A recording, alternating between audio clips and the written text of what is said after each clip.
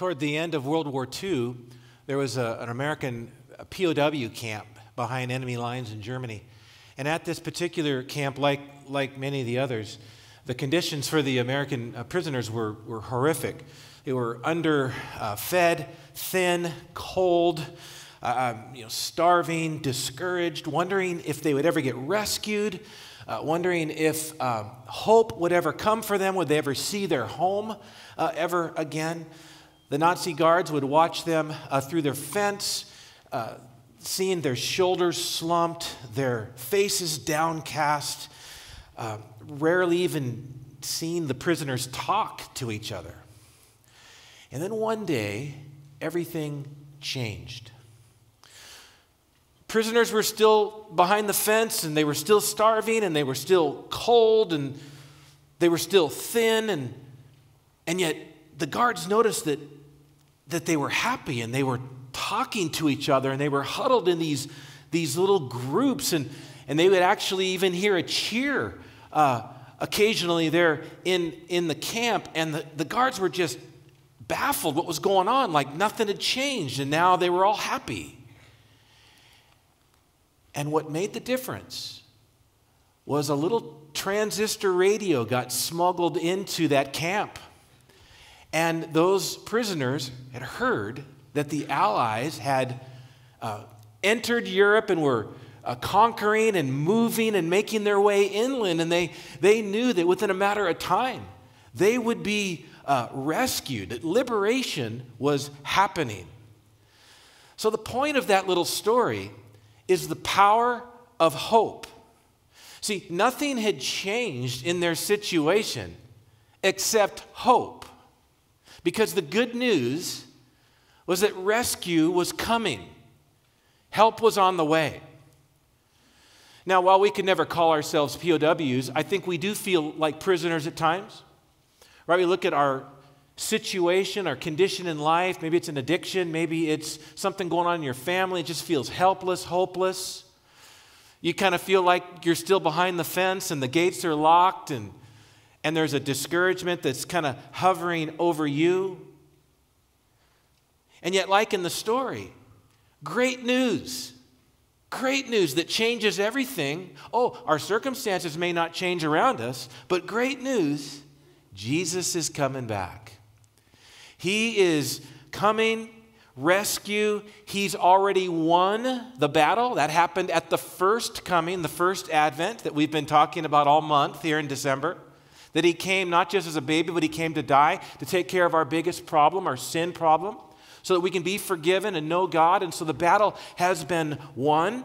And because he has won, he is making his way for us. And we're going to be taken with him if we know Jesus to heaven. No more bondage, no more evil. All that's messed up in your life and in this world wiped away. And I mean, think about it. Like all that you look forward to, all that that that is good and that pleases God and that is healthy in every way is going to happen. And all that is messed up and, and wrong and evil and corrupt and you name it wiped out completely. Oh, that's a great day that's coming. Okay, our rescue is coming. And in this Advent series, we've here on this last weekend, we're going to talk about second Advent. And this is when Jesus will come back, and he promised uh, that he would. How do we know he will? He came the first time. If he came the first time, went to that cross, did what he did, we can believe he's going to come back. What we see in the Bible is a lot of things about Jesus, what he was supposed to do that he didn't do during his first coming. Some people even confuse that and said, well, he, he failed. He didn't accomplish all that the Bible says he was supposed to accomplish about being the king of this planet and taking over and, and, and actually reigning over all the nations and righting all wrongs. That didn't happen during his first coming because it wasn't supposed to. It's going to happen during his second coming. We want to talk about that today. And a lot of verses we can grab onto. I, I chosen a text out of 1 Thessalonians chapter 5. And um, I love it there in Revelation 22 where very last chapter we should we should review that periodically how it's how it's how it's going to be. And, and jesus says his last words come three times i'm coming quickly. I'm coming soon. I'm coming soon. My reward is with me. So be ready. I'm coming and then john 14 he promised that i go to prepare a place for you in my father's house are many mansions i'm making one for you don't miss this place because i'm going to bring you back with me so let's jump into this First Thessalonians text. 11 verses. Actually, let's back up a couple verses in chapter 4. For the Lord himself will come down from heaven with a loud command, with the voice of the archangel, and with the trumpet call of God. And the dead in Christ will rise first. After that, we who are still alive are left and left, and our left will be caught up together with them in the clouds to meet the Lord in the air. And so we'll be with the Lord forever. Therefore, encourage one another with these words. Jesus is going to come back. Those who have died before us, who are Christians, they're already with the Lord now, but their bodies, they'll get their glorified bodies. It's kind of a super resurrection for them. And then we will join them in the air uh, to be with the Lord. Now, brothers and sisters, about times and dates, we don't need to write to you, for you know very well the day of the Lord will come like a thief in the night. While people are saying peace and safety, destruction will come on them suddenly as labor pains on a pregnant woman, and they will not escape. But you, brothers and sisters, are not in darkness so that this day should surprise you as a thief. You are all children of the light and children of the day. Do not, we do not belong to the night or to the darkness. So then let us not be like others who are asleep, but let us be awake and sober. For those who sleep, sleep at night, and those who get drunk, get drunk at night. But since we belong to the day, let us be sober, putting on faith and love as a breastplate, and the hope of salvation as a helmet. For God did not appoint us to suffer wrath, but to receive salvation through our Lord Jesus Christ. He died for us so that, whether we are awake or asleep, we may live together with him. Therefore, encourage one another and build each other up, just as, in fact, you are doing. So, like, I'm wondering if this could be the year. Could this be the year, Jesus? Maybe this will be the year. Man, I sure hope it is. 2020 vision. What kind of vision would that be to see Jesus coming? And you hear that trumpet, and it's not your neighbor practicing next door, it's the trumpet of God. And man, this, this is it. And this is what we're going to talk about today. Here's the big idea that I think is a, great summary of the text I just read. Concerning Jesus' return, we don't know when he's coming, but we know that he's coming, and so we live like he's coming. So, this big idea gives us an outline for today. Number one, we don't know when he's coming because it says, You're about times and dates. We don't need to write to you. Why? Because he's coming like a thief. Nobody knows. See, that's the kind of whole burglary 101. Like they know when they're coming, but you don't. Like they don't call, hey, is 2 a.m. okay? Like that's not a good burglar. So it's going to be a surprise. You don't know when. It's going to, you can't know when. And I wonder why people just don't get this. Like all throughout church history, there have been these Christians that have like set dates. I think he's going to come back this day, and they get all hyped up and sensational about these. And it's just, for example, about the year 1000, Europe was in turmoil, and, and, and they're about to hit 1000. They called it Y1K. And, and it's like, oh, Jesus is going to come back. And of course, he didn't then. And then 1400s, there was widespread plague and famine, and people are like, oh, this looks like the book of Revelation. And it wasn't. And and then in the 1800s, that's how the Jehovah's Witness got started, and that's how the Seventh day Adventists got started because they started setting dates when Jesus was going to come back, and he didn't. They were wrong. In the 80s, a guy wrote a book 88 Reasons Why the Lord Will Return in 1988. And then when he didn't, he wrote a sequel 89 Reasons Why the Lord Will Return in 89. That book didn't do as well. Then in 2000, oh, it's all going to come to an end, the computers are going to stop. Clearly, that's in Revelation somewhere. And then who can forget all the hype over December 21st, 2012? Right, the Mayan, Mayan calendar, and, and somehow Jesus is going to. And, you know, it just goes on and on. Like, whenever something big happens in our world, or an event, or catastrophe, or some special sign in the sky, you know, we're, we're like, oh, you know, he's coming, and, and, And then, you know, it's like we're trying to take all the current events of today and we're trying to put them into Bible prophecy. And people have been doing that for years, and it sells books and it's sensational, but, but we end up looking goofy. Okay, can I say as Christians, we look goofy enough because we love Jesus? But let's not be goofy for the wrong reasons, like setting these crazy dates. Because Jesus says the one thing you know for sure is that you can't know for sure when. But we know, number two, that he's coming. Paul calls it the day of the Lord in verse 2.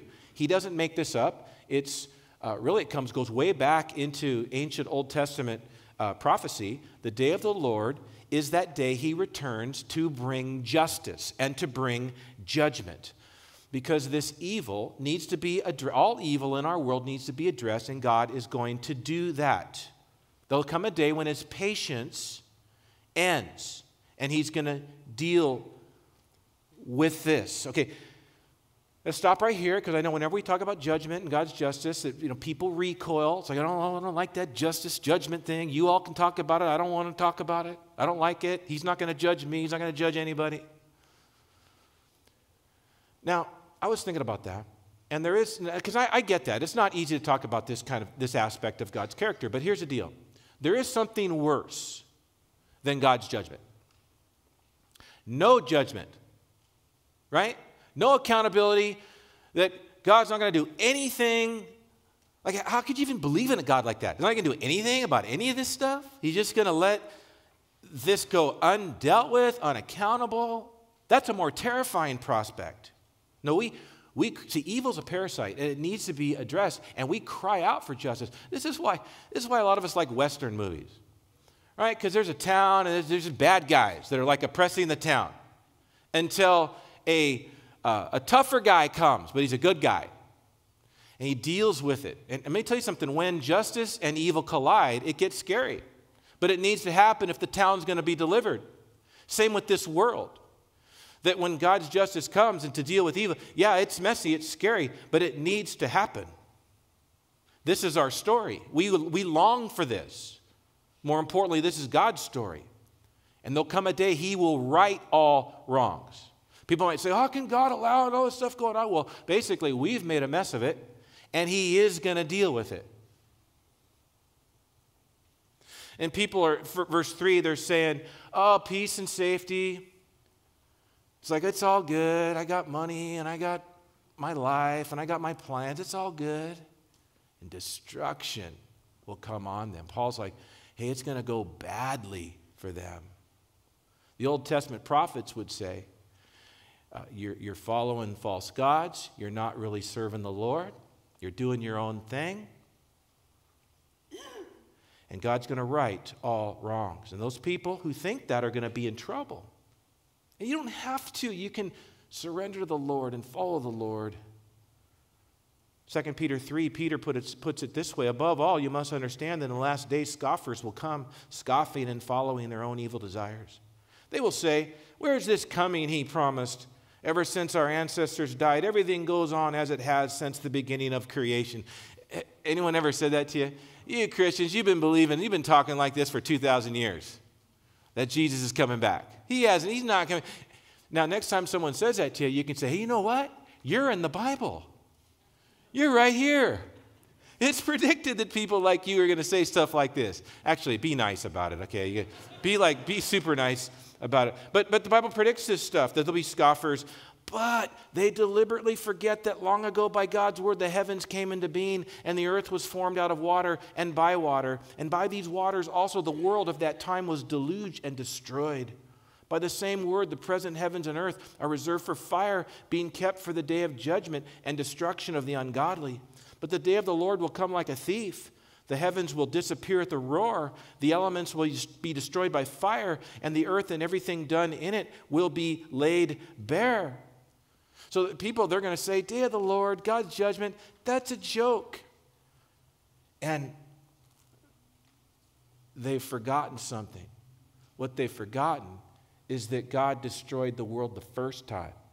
Okay? There's proof all around us to show about that worldwide flood. And he's going to do it again. And there'll be people, and it says really what, the, what they're about is they're in the darkness. There's two groups. Everybody's in one of the two groups light or darkness. And darkness simply means separated from God, ignorance, immorality. And light means we know the truth, we can see, we have a relationship with God. We just want to make sure we're people of light who, who have hearts that are forgiven, that we're saved and we're set free and we're walking with the Lord to be, to be in the light. Because we've been, Colossians 1.13, rescued from darkness and put into the light. That's a great verse. So make sure that we're dwelling in this relationship with the Lord. But if you're like, I don't need God, and I don't want God, Bible says you're in the darkness, and what's going to happen is it's going to come on you like a, like a surprise. We don't want that for any of you here. I hope we're all in the light, sins forgiven, relationship with Christ. Waiting, anticipating that great return of His. And they use this analogy, labor pains. Uh, Paul uses it, Jesus uses it, Matthew 24. And, and that's a good analogy because it, it's like we don't know exactly when that baby's coming, but we kind of know that he or she's coming. Right? And, and then you, you're, you're, you're ready for that. You're thinking uh, about that. You have a plan in place type thing. Like, like you know that's a reality that's happening, even though you don't know exactly when. And in Matthew 24, Jesus give, gives some specific labor pains, things we can be looking for that are signs that his coming is near. There's a lot of stuff there you can study it on your own wars and famines and, and uh, uh, false religion and a lot of these, these labor pains. But then there's some labor pains that really are only happening now. Like they, they're unique to our day. So it just gets my attention that we're seeing labor pains that are happening now that weren't necessarily happening when Jesus said them. And so, like, you know, she, like the, the tummy's getting bigger, let's put it that way. And we're getting closer. Things like gospel expansion. The gospel is now out all over the world, not like it should be yet, but it's way, way more than before. And the Bible translated in different languages. That's unique to today. Uh, population exp- expansion that's unique for today the bible predicts that bible talks about technology exponential kind of explosion stuff that's happening today like never before geopolitical things that are happening especially in the middle east concerning israel and everybody else again unique to today so all these things to me at least i'm going man this is this appears like i'm not going to go set dates or get all weird but this looks like it's getting closer. So, we don't know when, but we know that. Number three, so we live like he's coming. Let us not be like others who are asleep. Let us be awake and sober. For those who sleep, sleep at night, and those who get drunk, get drunk at night. It's talking about just living in the darkness. Doesn't mean like sleeping literally, but just like they just live their life on their own completely, not even thinking about God, not caring about God, thinking it's all about them, thinking it's all just about this life. But since we belong to the day, let us be sober, putting on faith and love as a breastplate and the hope of salvation as a helmet. So Paul's saying, since we know that Jesus is coming, our lives should look like it.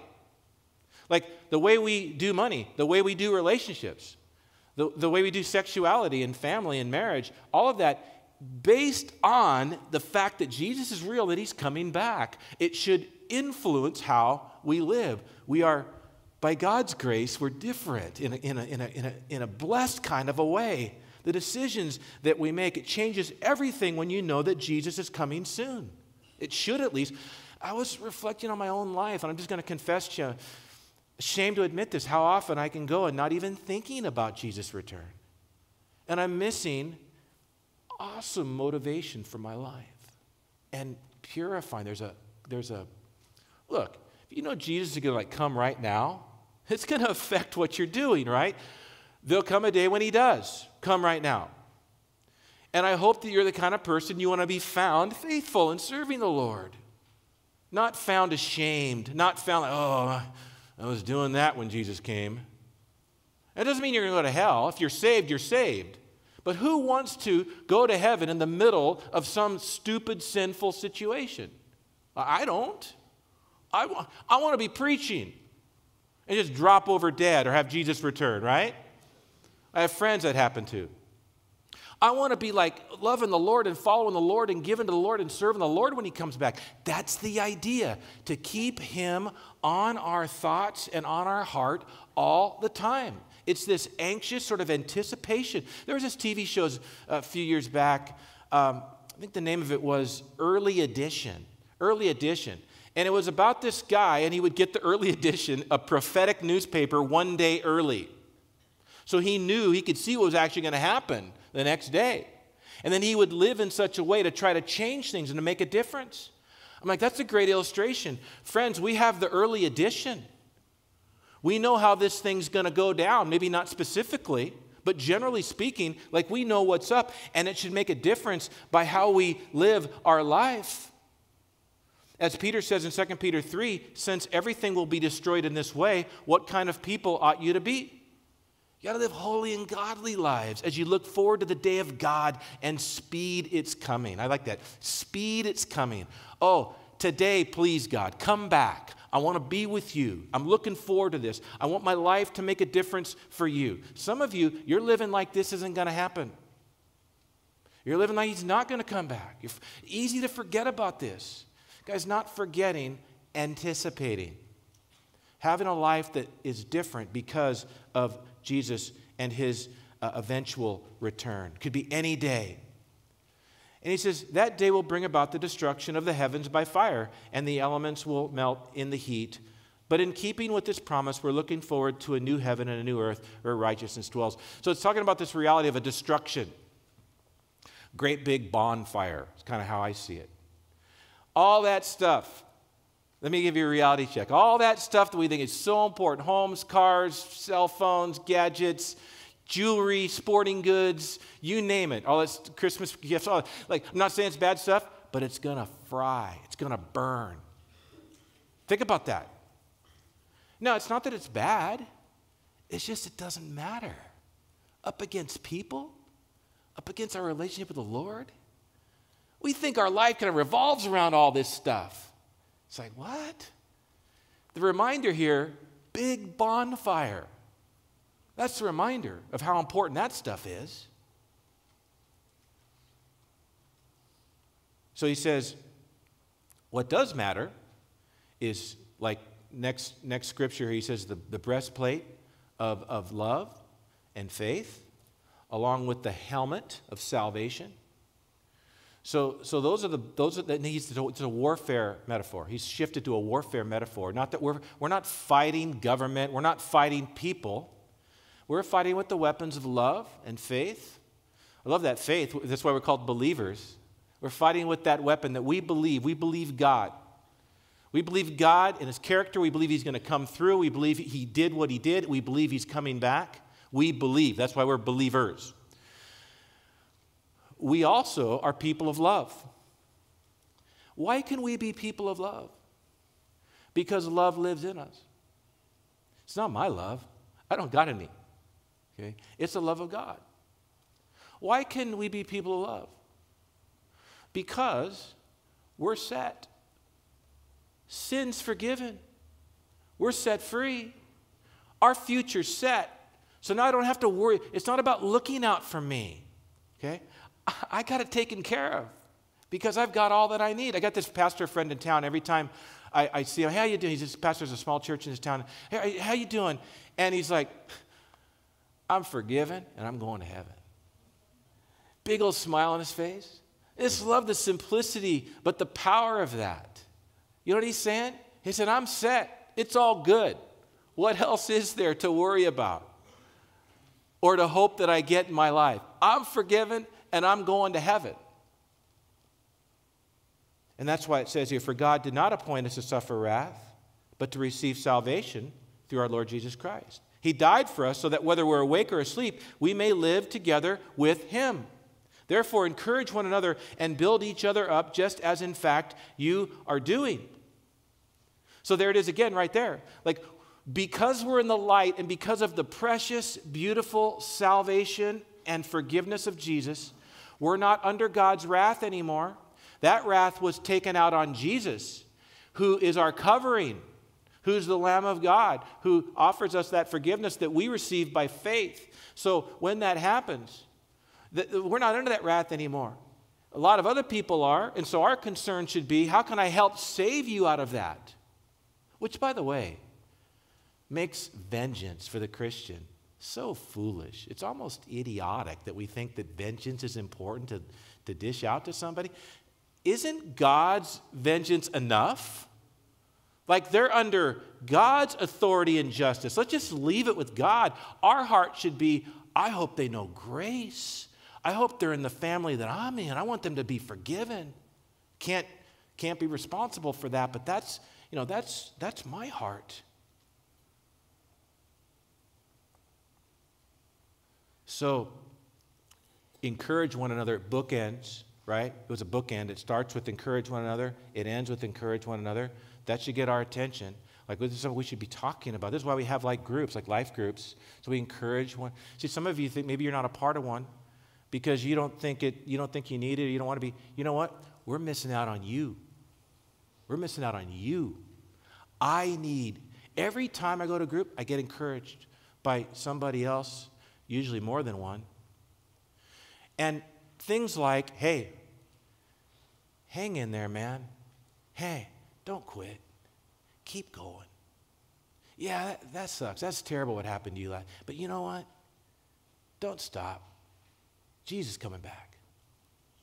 It's like that bumper sticker Jesus is coming soon. Look busy. you know, I don't like that completely, but there's part of it I love. Jesus is coming soon. Look busy. And to encourage one another hey, you know what? You're going to see your loved one again. Some of you lost loved ones this, this last year. And that day, if they know the Lord, you're going to see him again. And I mean, I think about my brother, my dad. I can't wait to see him again. And, and you know, our bodies that are falling apart. You know, it's just like, I'm looking forward to a new body. No more pain, no more sin, no more, like, you know, creaky knees and stuff, and backache and headaches, and more physical therapy. My buddy over here. God's got that taken care of, brand new bodies. How cool.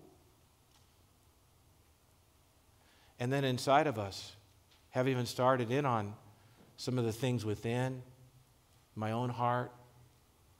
Just can't seem to get victory over. Trying, praying, trusting, but there's always this continual challenges. I'm looking forward to that day where that battle's over. And just be with Him.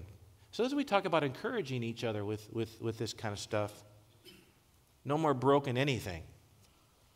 New heaven, new earth. So when we're thinking about Jesus' return, every day can be a good day because, like, what's better than that? I'm not trying to minimize things that happen around us or pain inflicted upon us, but but hang on. Hope's coming.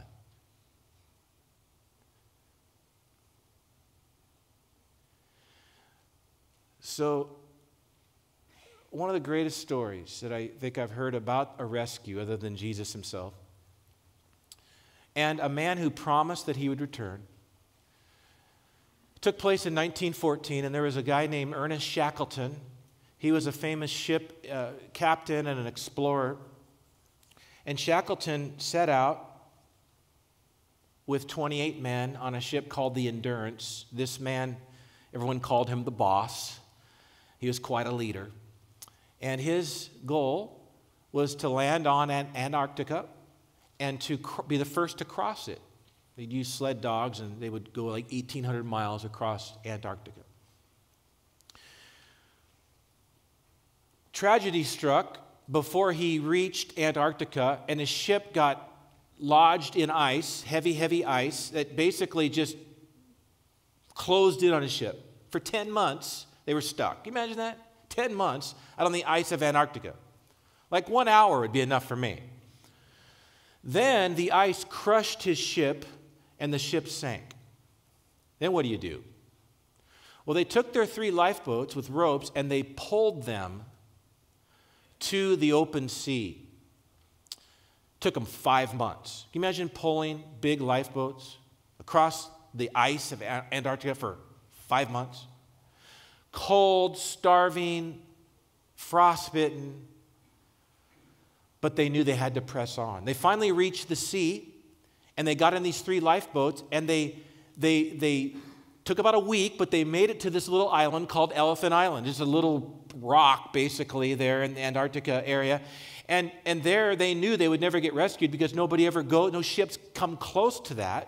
So Shackleton knew he needed to continue on. And so he kept his men there. And they, they built like this little hut out of rocks and put the two lifeboats kind of on the top as cover. And there they waited as Shackleton left, took five of his men and a lifeboat, and went 800 miles to another larger island called South Georgia. He knew there was a whaling village there. And so they, it took them a week and they just got pounded. You can imagine how they even made it was a miracle, but they made it to this island only to realize they were on the wrong side of the island. And to get to the whaler village, they actually had to hike 26 miles over glaciers, poorly equipped. Like, that's a huge feat today with mountaineering gear and technology. They did it back then with terrible clothes, with no gear, 26 miles, and they finally stumbled into this whaling village. What a sight they were. And Shackleton, true to his word, put a ship and a crew together, and he went back to save his men. And three times he was turned away because the ice was too thick. He couldn't get his boat in to Elephant Island. Finally, there was an opening, and he got his boat in. And when he came in, it was amazing because his men were ready. They were packed up, they were ready to go. They jumped in that boat, turned it around, headed back out to ice. And there was actually just a 30 minute window where the ice opened and closed. And he got his men out of there. And all of them, all 28, 105 days, were rescued and saved as they eventually made it back to England. 105 days on that island. Shackleton later asked his men, How did it happen that you were all packed and ready to go? Like, I, I, was shocked. You were standing there on the shore, you were ready to leave at a moment's notice. His second in command said this Every day we would send a watchman up on the mountain to look for your ship and the smoke. We never gave up hope that you would come back for us. Whenever the sea was partly clear of ice, we got all of our gear together and packed things up, saying, The boss may come today. And he did, true to his word. Love that story. And I love the greater story that it points to that our boss is coming back like he promised. And he's going to take us to be with him. And just like Shackleton was their only hope, humanly speaking, so the Lord Jesus is our only hope to save us from this life, to change everything that's messed up in this world, to bring a new heaven and a new earth. Let's thank Him and let's pray together.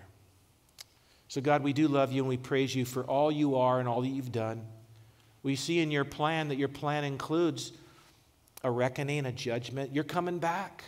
We don't know when, but we know that you are.